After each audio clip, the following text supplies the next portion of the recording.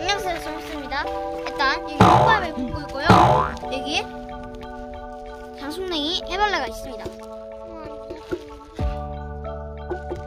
크죠?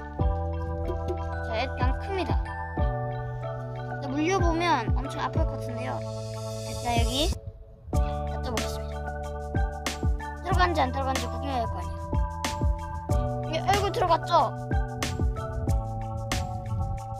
들어간 중입니다. 잘 안 들어가죠? 이 힘이 굉장히 강한 것 같아요. 이렇게 생겼습니다. 보시죠? 안녕하세요. 저는 장풍이에요. 자, 일단 이렇게 생겼고요. 일단 이렇게 생겼고요. 일단 이렇게 생긴 장풍이를 다음에 보기 위해서 구독과 좋아요를 눌러주세요. 그럼 안녕!